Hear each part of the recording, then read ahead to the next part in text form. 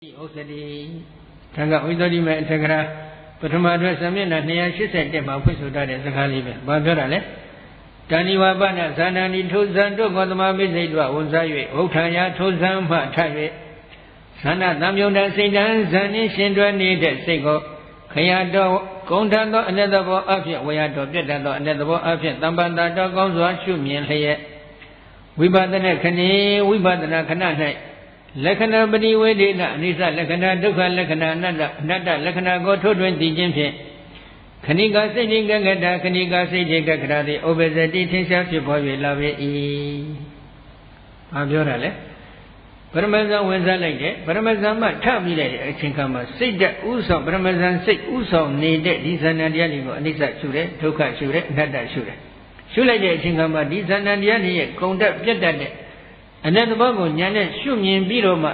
အနိစ္စပဲဒုက္ခပဲအနတ္တပဲလို့ရှုနေတာအဲဒီလိုရှုလိုက်တဲ့အချိန်ခါမှာဒီဇဏ္ဍတရားတွေရဲ့အနိစ္စအချင်းရာသို့မဟုတ်ဒုက္ခအချင်းရာသို့မဟုတ်အနတ္တအချင်းရာဆိုတဲ့အချင်းရာတစ်ခုခုအပေါ်မှာဘာဝနာစိတ်ကညီဝတ်စွာကပ်ပြီးတည်သွားအဲဒီလိုတည်နေတဲ့သမာဓိကို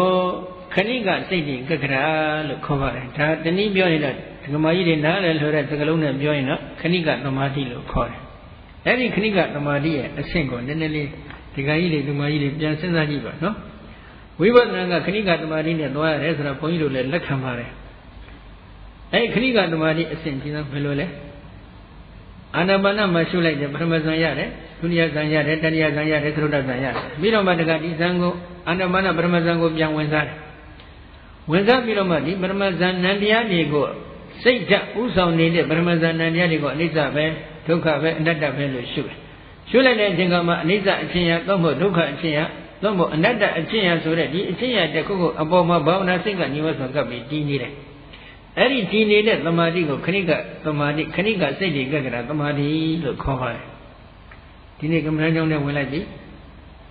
ဘာဇံမှလည်းမသိဘူးဘာဇံမှလည်းမဝင်စားတတ်ဘူးဘာရောက်မှလည်းမသိဘူးဘာဇဏ္တရားမှလည်းမရှုတတ်ဘူးအဲ့ဒီလိုပုဂ္ဂိုလ်ရဲ့တဏ္ဍာမှာချက်ချင်းခဏိကသမာဓိဆိုတာဖြစ်မလား ဟုတ်ကဲ့လားဒီမကြီးဘုန်းကြီးစိတ်မလာမပြောနဲ့နော်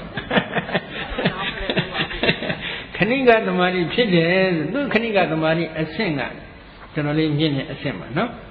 ဇံဝင်စားနိုင်တဲ့ဇံမထပြီးတော့ဇာဏတရားတွေကိုလည်းအနိစ္စဒုက္ခအနတ္တလက္ခဏာရေးသုံးဌာန်တင်ရှုလို့ဒီဇာဏတရားတွေရဲ့အနိစ္စအချင်းရဒုက္ခအချင်းရအနတ္တအချင်းရပုံမှာညီဝတ်စွာကပ်ပြီးတည်နေတဲ့သမာဓိကိုသာလေခဏိကသမာဓိလို့ခေါ်တာသို့တော့ဒါကသမထယန္တိကပုဂ္ဂိုလ်အတွက်ပြောနေတဲ့စကားပါ သမထယန္တိကပုဂ္ဂိုလ်မဟုတ်ဘူးတခြားပုဂ္ဂိုလ်တအုပ်ဆိုရပါစို့သုဒ္ဓဝိပဿနာယန္တိကပုဂ္ဂိုလ်အဲ့ဒီသုဒ္ဓဝိပဿနာယန္တိကပုဂ္ဂိုလ်အတွက်ကလည်းပဂိဏိကသင်္ခါရလို့ခေါ်ပါတယ်နော်နောက်ပိုင်းမှာဖွင့်ထားပါတယ်ပဂိဏိကသင်္ခါရခေါ်တဲ့သင်္ခါရတရားတွေကိုအနိစ္စဒုက္ခအနတ္တလက္ခဏာရေးသုံးတိုင်းတင်ပြီးတော့ဝိပဿနာရှုရမယ်ပဂိဏိကသင်္ခါရဆိုတာကဇာဏတရားမှလွဲ၍ဉာဏ်နေတဲ့ကာမဝဆရနံတရားတွေနဲ့ယုတ်တရားတွေကိုပဂိဏိကသင်္ခါရလို့ခေါ်တယ် ကြောင်းကျိုးဆက်နေမှုပရိစ္ဆသမုပ္ပါသဘောတရားတွေကိုလည်းပဂိဏိကသင်္ခါရတရားတွေလို့ခေါ်ပါတယ်ဒါကဒုက္ခသစ္စာတရားသမုဒယသစ္စာတရားအဲ့ဒီဒုက္ခသစ္စာသမုဒယသစ္စာခေါ်တဲ့ဒီပဂိဏိကသင်္ခါရတရားတွေကိုအနိစ္စဒုက္ခအနတ္တလက္ခဏာရေးသုံးတိုင်းတင်ပြီးတော့ဝိပဿနာရှုလိုက်တဲ့အခါ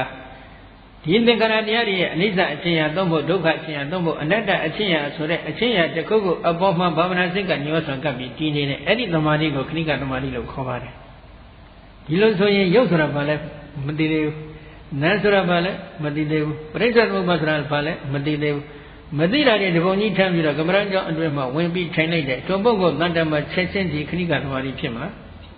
မဖြစ်ပါဘူးနော်ခေတ်ကတော့ဖြစ်တယ်လို့ပြောနေတယ်စာမန်ကတော့ဖြစ်တယ်လို့မပြောဘူးဒါကြောင့်နည်းနည်းသတိထားကြပါနော်သတ္တန်လေးကဒိုတယ်သတ္တန်ဒိုတဲ့ထက်မှပြည့်စင်တွေကလွဲထွန်နေရင်မိမိတို့ညှော်နေတောင့်တနေတဲ့ဒီနိဗ္ဗာန်ချမ်းသာဒုက္ခကြီးကိုလောလောနဲ့ရနိုင်ပါမလားမရနိုင်ဘူး ကဲနောက်တစ်ခုခဏိကစိတိခက္ကန္တာတိခဏမတ္တရှိတိကောသမာဓိတချို့ကအဲ့ဒါလောက်ကလေးကွက်ပြီးပြောတယ်ခဏိကစိတိကက္ကန္တာဆိုတာကခဏမတ္တရှိတိကောသမာဓိတခဏလေးမှတည်နေတဲ့သမာဓိကိုပြောတာပါတဲ့ဟိုနောက်ကျန်တဲ့ဟာဆက်မပြောဘူးအဲ့ဒါလောက်ကလေးနဲ့ပဲရက်လိုက်တယ်ကျန်တဲ့ကဘာပြောလဲသောမိဟိအာရမဏိနိရန္တရဧကကာရိဏဗုဒ္ဓမာနဗုဒ္ဓမနောပနိပခေနအနဘိဘုဒ္ဓအဘိတောဝိယစိတ်တန်နိစလံထပေတိ